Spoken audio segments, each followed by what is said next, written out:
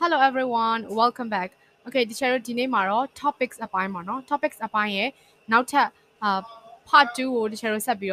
no. Okay ဆိုတော့ uh, part 2မှာဆိုလို့ရှိရင်ဘယ်လိုဟာတွေပါမလဲ Let's see together. Okay. ဒီ channel ဒီနေ့ part ma uh, transport parts of the body clothes and then bedroom and bedroom and then living room altogether 5 topic ကျွန်တော်ဒီနေ့ topic 5ခုကိုသွားကြမယ် okay so let's start from transport so transport ဆိုလို့ရှိရင်ဘယ်လိုနားလဲလဲ transport ဆိုလို့ရှိရင်อืมဒီမှာ let's look at the photos so you can see like airplane car bicycle or track or train or something like that so all these things are used in transport ကျွန်တော်တနေရာနဲ့တနေရာကိုကူးတန်းသွားလာရေးပေါ့ transport ကအဲ့သဘောတရားပေါ့နော်ကျွန်တော်ကူးတန်းသွားလာရေးမှာဆိုရင်အသုံးပြုတယ် ရှင်နေရှိမယ်ပေါ့နော် Okay let's say together match each of the following words with the correct letter in the picture ဆိုတော့အောက်မှာပေးထားတဲ့ဒီဓာတ်ပုံတွေပေါ့နော်ဒီပုံလေးတွေထဲမှာ letters တွေပါတယ် A B C D ဆိုတော့အဲ့ number တွေပေါ့နော်ဒီကဏ္ဍအနေနဲ့ပါတယ်နံပါတ်တက်ပေးထားတယ်เนาะအဲ့ဟာတွေကိုဒီမှာအောက်မှာပေးထားတဲ့ words တွေနဲ့ match လုပ်ပေးရမယ်เนาะ for example ဆိုရင်ဒီမှာ aeroplane เนาะ plane လို့လည်းပြောလို့ရတယ် aeroplane လို့လည်းပြောလို့ရတယ် အဲ့ဒါဘယ်မှာရှိမလဲ okay d เนาะ d ဖြစ်မယ်ဆိုတော့အဲ့လိုမျိုး match လုပ်ပေးရမယ် okay ဆိုတော့ဒီမှာဆိုရင်ကိုမသိရဲ့စကားလုံးတွေလည်းပါနိုင်တယ်ဆိုတော့အဲ့လိုမျိုးပါလာတဲ့အခါကျလို့ရှိရင်ချက်ချင်း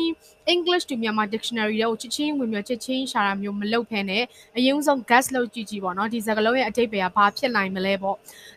မသိတော့ဘူးလုံးဝမသိတော့ဘူးဆိုမှ English to English ကိုအရင်ရှာကြည့်ကြည့်ပုံလေးတွေကိုကြည့်ဆိုတော့အဲ့ဒါကပို့ပြီးတော့ effective ဖြစ်တယ်ပေါ့နော် English to Myanmar ကိုဓာတ်ရိုက်ချက်ချင်းကြည့်တာထက်ဟုတ်ပြီနော် okay ဆိုတော့ဒီမှာဆိုရင်လဲ lorry ဆိုတော့ lorry ကဘာလဲတိပြီးသားလားအစားတွေကတိပြီးသားဆိုရင်တွဲလိုက်အောင်မတိသေးဘူးဆိုရင်စဉ်းစားမယ် helicopter တိပြီးသားလားအစားတွေက car bus van ship train boat motorbike နော် bike bicycle underground train နော်ဒီလိုမျိုး words တွေ okay so after that let's see next one number 2 put the correct verbs from the following list in the passage below If necessary add s or es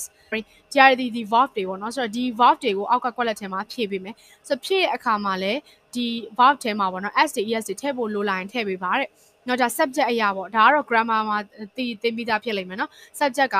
ရိုးရိုးဒီအ ਨੇ ဆိုလို့ရှိရင် s တွေ es တွေ verb မှာထည့်ရဆိုတဲ့အကြောင်းကတော့တည်ပြီးသားဖြစ်မယ်နော် okay ဆိုတော့ number 3ကိုကြည့်မယ် use the correct word from the following list အောက်မှာပေးထားတဲ့ list ထဲကပေါ့နော်အဲမှန်ကန်တဲ့ words တွေကိုသုံးရမယ် or nothing in the sentences ဟောပြောချင်တာကဟိုသုံးဖို့မလိုတဲ့ဟာတွေလည်းရှိနိုင်တယ်ပေါ့နော်อืม so sentence ထဲမှာသုံးဖို့မလိုတာတွေလည်းပါနိုင်တယ်အဲ့မှာ off on at for by to ဒီဟာတွေကိုသုံးပြီးတော့အဲအောက်က list ကို um မှန်အောင်လုပ်ပြရမယ်ပေါ့နော်ဆိုဒီမှာဆိုလို့ရှိရင်လည်း and want to school by bus today not by foot ဟုတ်ပြီနော်အဲ့တော့ဒီလိုမျိုးကွက်လက်ဖြည့်ပေးရမယ် okay so number 4ကဘာလုပ်ရမှာလဲဆိုရင် what you have to do is you have to describe how you go to school or made a long journey okay so A နဲ့ B နှစ်ခုရှိရပါတော့ topic ပထမ topic ကကြတော့ go to school or work เนาะအလုပ်ဒါမှမဟုတ်ရင်ကျောင်းကိုသွားတဲ့ဟာမျိုးဘယ်လိုသွားလဲဆိုတဲ့ပုံစံမျိုးနောက်နံပါတ် B ကကြတော့သူက make a long journey နော်ဆိုတော့ခရီးရှည်တစ်ခုပေါ့ဆိုတော့အဲ့နှစ်ခုကို describe လုပ်ပေးရမယ်ဖော်ပြရမယ်နော်ဆိုတော့ကျောင်းကိုကိုသွားတယ်ဆိုရင်ဘယ်လိုဘယ်လိုသွားတယ်ပေါ့နော်အဲအဲ့လိုမျိုးပေါ့ကိုအချိန်တွေပါထပ်ထည့်ခြင်းလည်းထည့်လို့ရတယ်ပေါ့နော် more information ကတော့ if you want to add more information is totally fine okay နံပါတ် B อ่ะဆိုရင်ကိုရဲ့ long journey ခရီးရှည်တစ်ခုအကြောင်းဖော်ပြပေးရမယ်ဟုတ်ပြီနော်နှစ်ခုစလုံးကိုဒါလုပ်ပေးရမှာနော်ရေးပေးရမှာ okay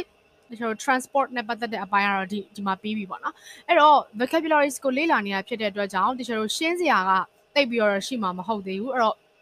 လောလောဆယ်အထိပေါ့နော်အဲ့တော့ဒီမှာဆိုရင်ဒီ vocabulary ဆဲမှာအခုနပြောသလိုပဲကိုမသိတဲ့ဟာတွေဆိုရင်အခုနလိုမျိုး brainstorm လုပ်အရင်ခံမှန်းကြည့်ပြီးတော့တဲ့အခါကြလို့ရှိရင်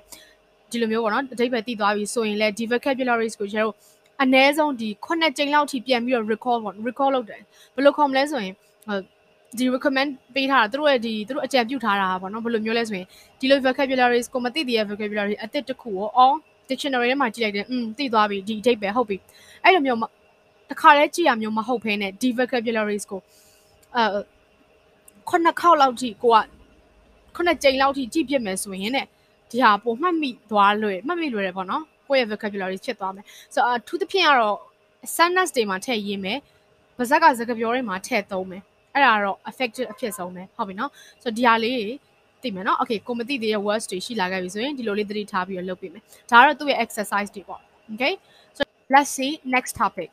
parts of the body. So parts of the body look your line very easy, right? So you can see in the photo the body of a woman. Yeah, of course, that's the body of a woman, and you have to label label this picture. So charity maswin parts of the body ဆိုခန္ဓာကိုယ်တစ်ခုလုံးကိုပါတယ်ပြီးတော့ဒီမှာဆိုရင်မျက်နှာဟာတွေပေါ့နော်မျက်နှာခေါင်းပိုင်းပေါ့နော်အဲ့အပိုင်းကိုသူဒီမှာနံပါတ်တွေဟိုဟာခဏန်းတွေတက်ထားတယ်ပေါ့နော်ဆိုတော့အဲ့ဒီခဏန်းတွေနဲ့ဒီမှာပါတဲ့ words တွေနဲ့ကို match လုပ်ပေးရမယ်ပေါ့နော် bottom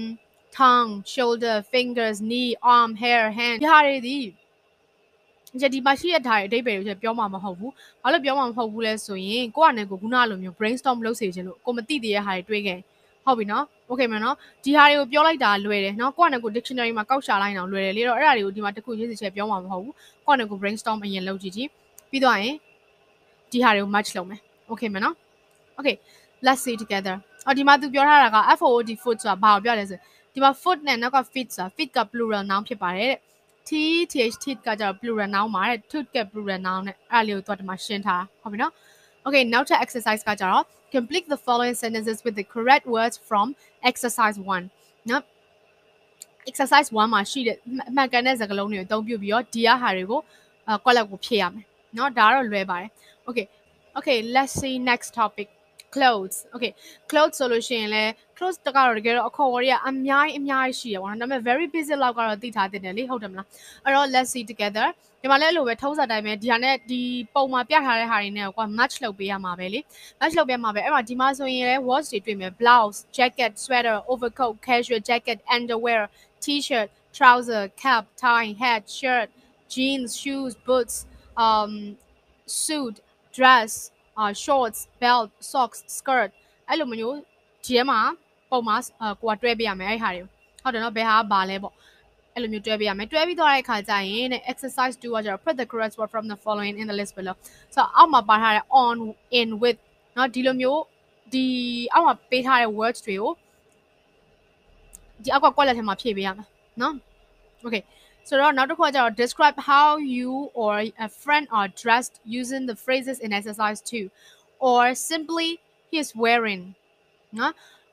an adjective like old new smart casual or သူကဒါဘာကိုပြောရလဲဆိုရင် describe လုပ်ပေးရမှာနော် describe လုပ်တယ်ဆိုရဲ describe ရဲ့အဓိပ္ပာယ်ကဘာလဲဆိုရင်ဖော်ပြရတာနော်ဖော်ပြဆုံးမှာ describe a person ဆိုရင်လူတစ်ယောက်ကို describe လုပ်ပါဆိုရင်ကိုကသူ့ရဲ့ personality တွေကိုပြောလို့ရတယ်ပြီးတော့သူ့ရဲ့ physical appearance ကိုလည်းပြောလို့ရတယ် personality ဆိုတာသူ့ရဲ့စိတ်နေစိတ်ထား physical appearance ဆိုတာရုပ်ပုံမှန်တဲ့အောင်ပြောတာအဲ့အကြောင်းနှမျိုးကိုပေါင်းပြီးတော့သူ့ကိုဖော်ပြလို့ရတယ်ဆိုတော့အဲ့လိုပဲအဲသူသူတယောက်ကဘယ်လိုဝစ်စင်လဲဆိုတာကိုလည်း describe လုပ်တဲ့အခါကျရင်ပြောလို့ရတယ်အဲ့တော့သူကဒီမှာပြောထားတာကလည်း exercise 2မှာပါတဲ့ဟာတွေကို phrase တွေကိုအသုံးပြုမယ် နော်ဒီလိုမျိုး exercise 2မှာပါတဲ့ on in with phrase တွေကိုသုံးတယ်ပြီးတော့ရင်ねဒီကဒီကဒီမှာစကားလုံးတွေအဝတ်စားမှာအသုံးပြုတဲ့စကားလုံးတွေကိုလည်းသုံးလို့ရတယ်နော်အဲ့လိုမျိုးသုံးပြီးတော့မှရေးမယ်ဥပမာသူပေးထားတယ် simply ဆိုတာကွာရိုးရိုးတနမ်းပဲ he is wearing t-shirt he is wearing uh maybe trouser အဲ့လိုမျိုးရိုးရိုးတနမ်းလည်းရေးလို့ရတယ်ဒါပေမဲ့ပို့ပြီးတော့တကယ်လို့စာကိုပို့ပြီးတော့မှကောင်းချင်တယ်ဆိုရင်တော့ adjective တွေထည့်လို့ရတယ်အဲ့ဒါလေးသတိထားပြီးပါ adjective တွေအရေးပါတယ်နော် okay ဆိုတော့ဒါကနောက်ပိုင်းမှာတခြားလေး အလင်းတင်တယ်လို့ပြောပြသွားမယ်နော်အဲ့တော့ဒီမှာ adjective တွေဆိုရင်ဒီမှာပုံမှန်တာမန် adjective တွေ like old new smart casual clean dirty red blue ဒီလိုဟာလေးတွေပေါ့ he's wearing red trouser uh she's wearing uh ဘယ်ကောင်မလဲ old shirt เนาะအဲ့လိုမျိုးလေးတွေတွားပြီးရေးလို့ရတယ်။ဒါကတော့ရိုးရိုးတက်တက်ရေးတဲ့ form ပေါ့နော်။အရင်ဆုံး very simple ကနေစလေ့ကျင့်သွား။ Okay မယ်နော်။ Okay let's see next topic bathroom and bedroom เนาะနှစ်ခုကမတူဘူးเนาะ bathroom က bath bath ဆိုတာဗာလဲရေချိုးတဲ့ဟာလေသိရเนาะရေချိုးတယ် bed bed ကကြတော့အိပ်ရာအဲ့တော့ bathroom ဆိုရင်ရေချိုးခန်း bedroom ဆိုရင်အိပ်ခန်းเนาะအဲ့နှစ်ခုကတော့အတန်တွက်ကစင်တလို့လို့နဲ့တိတ်တော့မတူเนาะအဲ့တော့ exercise ကဘာလုပ်ရမလဲဆိုရင်ထုံးစံတိုင်းပဲเนาะဒီပုံထဲကဟာတွေနဲ့ဒီစကားလုံးတွေနဲ့ကိုကိုက match လုပ်ပေးရမယ်အဲ့ဒါဘာလို့ match သူကလောက်ခိုင်းတာလဲဆိုရင်လေဒါ brainstorm လုပ်တာပဲဒီလားအတိတ်ပဲကိုကပုံနဲ့တကွာကွာမှတ်မိသွားအောင်ကိုမသိရဟာတွေရှိခဲ့ရင်လည်းမှတ်မိသွားအောင်เนาะအဲ့ဒါလေးတစ်ခုနောက်တစ်ခုက อืมဒီမှာလိုပဲသူ့ရဲ့စကားလုံးတွေရှိတယ်ဒီဘက်မှာမြင်ရမယ်เนาะနှစ်ချမ်းရှိလိမ့်မယ်ဒီဘက်ကတစ်ချမ်းကဘယ်ဘက်ကဟာ bedroom လား bedroom လားညာဘက်ကဟာ bedroom လား bedroom လားဘယ်ဟာပါလဲအရင်ကွာနေကိုကြည့်ကြည့်ပြီးတော့ဖြည့်မယ်เนาะပြီးသွားရင် complete the following sentence with the correct form အဲ့တော့အရှိကဒီ exercise 1ကစကားလုံးတွေနဲ့ အောက်က quality ကိုဖြည့်ပေးမယ်ပြီးတော့တဲ့အခါကျရင်နောက်တစ်ခုကอืม on in to ဆိုတဲ့ဟာလေးတွေနဲ့ဒီအောက်မှာဖြည့်ပေးမယ် ကျွန်တော်ကွက်လက်ဖြည့်ပေးမယ်ထုံးစံတိုင်းမှာကွက်လက်ဖြည့်တယ်ပဲသူက fill in the fill in the blank တွေပဲเนาะပုံစံအဲ့ဒါလေးတွေပဲများတယ်အဲ့တော့နောက်တစ်ခါကျတော့ cover the words in exercise 1 and name the things in the picture ဆိုတော့ तू ကဘာကိုပြောရလဲဆိုရင် exercise 1က words တွေကိုသုံးပြီးတော့မှာတဲ့ဒီပုံတွေကအဲဟာတွေကိုပေါ့နော်ပုံတွေကဥစ္စာတွေကို name လုပ်မယ်ဆိုတော့ तू ကဘာလဲဆိုတော့ number 1နဲ့ဒီ number 4နဲ့တိတ်မကွာဘူးပေါ့နော်အတူတူလောက်ပဲနော် name the things ဆိုတော့ဒီအထဲတွေကဟာတွေကိုနာမည်ပေးတာမျိုးပေါ့ ဆိုတော့အဲ့ဒါမျိုးဆိုရင်သူ့ရဲ့သူ့ရဲ့ words တွေပဲပေါ့နော်ကွာအောင်နော်တိတ်မကွာဘူးဆိုတော့ okay let's just ignore it ဆိုတော့နောက်တစ်ခုကကြတော့ living room နော် living room မှာဆိုရင်လည်းဒီလိုဒီမှာอืมပုံထဲမှာပုံထဲကဟာနဲ့ match လုပ်မယ်နော်ကိုကနဲ့ကိုအရင်ဆုံးကိုတီးပြီးသားဟာတွေလည်းပါနိုင်တယ်မတိသေးတဲ့အစ်စ်တွေလည်းပါနိုင်တယ်နော်အဲ့တော့အစ်စ်တွေပါလာခဲ့မယ်ဆိုရင်ရုံဆုံး brainstorm လုပ်မယ်ပုံထဲကဟာလေးနဲ့ကြည့်မယ်ဘယ်လိုဖြစ်မလဲစာမျိုးစဉ်းစားမယ်ဟုတ်ပြီနော်အာဒီမှာဆိုရင် switch lamp ceiling sofa light floor rug mat fan armchair radio carpet cushion bookcase television waste paper bin နော် waste paper bin အော်ဒီ waste paper bin ဆိုတာလေးကလေ bin လို့သုံးလဲရတယ်နော် waste paper bins လိုမျိုးသုံးထားတယ် okay whatever နော်အဲ့ဒါလေးတွေကို match လုပ်ပေးမယ်ဒါကတော့ living room ဆိုတာကျတော့ဗာလဲဧခန်းနော်အဲ့ဒါလေးကအဓိပ္ပာယ်လေးကဧခန်းဧခန်းကိုပြောတာနော်ပုံထဲမှာလည်းကြည့်ရင်သိရမှာပါအဲ့တော့ living room လို့ပြောလိုက်ရင်ဧခန်းကိုပြောတာနော်ကိုယ့်ရဲ့အိမ်တအိမ်မှာ ဧခန်းနေရာလေးရှိမယ်လေအဲ့ဒီပိုင်း line တွေ့တဲ့နေရာပေါ့ဆိုတော့အဲ့ဒါမျိုး living room လို့ပြောတယ်ဟုတ်ပြီနော်အဲ့တော့ living room မှာပါတဲ့အစိတ်အပိုင်းတွေပေါ့နော် living room မှာပါတဲ့ပစ္စည်းစိတ်ပိုင်းတွေနော် Okay ရောင်ကြည့်လိုက်ရင်ကျတော့ဟိုအောင်သွားပြီးတော့ဟိုဖြစ်တယ်တတိယရယ်ကျတော့ game တစ်ခုရှိရလေဒီလားအဲ့ game ကလေအဲ့လိုမျိုးပုံဒီမျိုးပုံပြထားပြီးတော့မှလေသူကစကလုံးလေးအဲ့လိုရှိရလေအဲ့ရောက်ရှာပြီးတော့မှတွေ့ဟိုရှာပေးလိုက်လို့ရှိရင်အဲ့လေပျောက်သွားလို့ရှိရင်အဲ့လိုမျိုးသူဒီစာစကလုံးလေးတွေသူချစ်လိုက်တယ်လေ အဲ့အဲ့လိုမျိုး game လေးစောက်ပြီးရသူပါလားပျော်စရာတော့ကောင်းတယ်နော်အဲ့ game လေးကဆိုတော့အဲ့လို game ကို sorry သူတွေဆိုရင်လည်း vocabulary တွေတော်တော်လေးတော့အချို့တလေတော်တော်လေးရင်းနှီးလိမ့်မယ်ထင်တယ်နော်အဲ့ဆိုဒီလိုပုံစံမျိုးလေးတွေလေသွားအဲ့လိုမျိုး place တစ်ခုပြထားပြီးတော့မှအဲ့မှာပစ္စည်းတွေကိုရှာရတာလေအဲ့လိုမျိုး okay အဲ့ဒါလေးအောင်နည်းနည်းသွားပြီးတော့မှ remind ဖြစ်သွားတယ် okay let's see next one complete the following sentences with the correct words from exercise 1တော့ထုံးစံတိုင်းပဲ exercise 1ကစကားလုံးတွေနဲ့ဒီဟာကိုကွက်လက်ဖြည့်ပေးမယ်3ကကြတော့ အဲ့လိုပဲ in တော့ on to လို့ဆိုရယ် preposition တွေကိုသုံးပြီးတော့မှအောက်မှာကွက်လက်ဖြည့်မယ်အာ okay ဒါလည်းအဲ့လိုပဲနော် cover the words in exercise 1 and name the things in the picture ဆိုဒီအရှိရ exercise 1ကဒီစကားလုံးတွေနော်စကားလုံးတွေကို cover ပါအောင်ပေါ့နော်အဲ့စကားလုံးတွေပါမယ်ဒီအရှိရအရှိရ exercise ဒီအရှိရ exercise လိုမျိုးပဲပေါ့နော် exercise 1က words တွေ cover လုပ်မယ်ပြီးတော့လို့ရှိရင်ပုံထဲမှာရှိရဟာတွေကိုနာမည်ပေးမယ်နော် name the things in the picture အတူတူပါပဲပေါ့နော်ဘာမှသိမကွာအောင် okay ဆိုတော့ဒါဆိုရင်တော့ဒီနေ့ topic ကကျွန်တော် living room ကြည့်ပြီးပြီပေါ့နော်။ living room ကြည့်ပြီးသွားပြီဆိုရင်ဒီ topic တွေမှာနော်ဒီ exercise တွေကိုပဲဖြည့်တာထပ်ဖို့ပေါ့နော်။ခုနကပြောသလိုမျိုးကိုမသိရဲ့စကားလုံးအသစ်တွေဆိုရင် note notebooks လေးတတ်တတ်ထားပြီးတော့အဲ့ဒါလေးတွေမှာ note မှတ်ပေးပေါ့နော်။ဘာလဲဆိုရင် personal dictionary လို့လည်းကျွန်တော်ပြောလို့ရတယ်ပေါ့နော် personal dictionary လေးထားထားရင်ကောင်းတယ် personal dictionary ကကြတော့ဒီကျွန်တော်ကိုမသိတဲ့စကားလုံးအသစ်တွေကိုသူ့ရဲ့စကားလုံးပြီးွားရင်အာပိုကောင်းတယ်ပေါ့နော်ဟို IPA တို့ဘာလို့လိုမျိုးထည့်နိုင်ပိုကောင်းတယ်ကျွန်တော်အတန်တွက်ပေါ့နော်အတန်တွက်သင်္ကေတတွေထည့်ရေးနိုင်ပိုကောင်းတယ်ဒါပေမဲ့အတန်တွက်သင်္ကေတတွေမလေးလာရသေးဘူးဆိုရင်ရတယ်မရေးပဲနဲ့အနောက်ကနေသူ့ရဲ့အတိတ်ပဲပေါ့နော်အတိတ်ပဲကိုရေးတဲ့အခါမှာလည်းပဲ English လိုမျိုးတက်နိုင်ဆုံးရေးဖို့စူးစမ်းပါ